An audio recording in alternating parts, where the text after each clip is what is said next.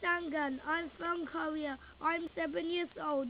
I have been going to Gordonton School for almost one year. I would like to talk about Gordonton School. I'm learning reading, writing, math. My favorite activities are art, drawing, swimming, and cross country. I like my friends and teachers because they are kind.